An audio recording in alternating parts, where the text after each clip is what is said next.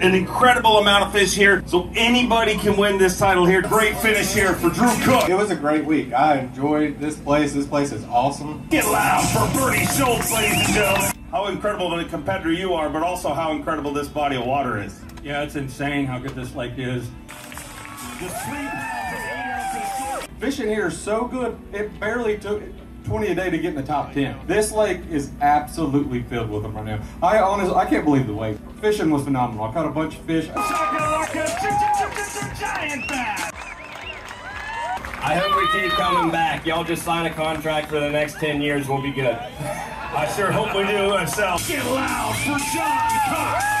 Yeah, this place was incredible. I mean, I hope we, I hope we somehow get it on the schedule every year. We should come back here. This place is amazing. Crowd's amazing. I, uh, everybody that lives on this lake that I've fished around their dock, they've been so nice, coming out, waving, talking. Nine ounces, looking for 21.9. 18 pounds, six ounces.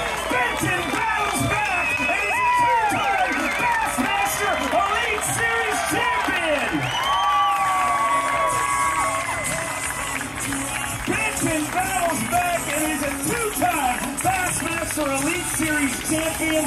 Man, at Lake Murray belongs to Drew Benton.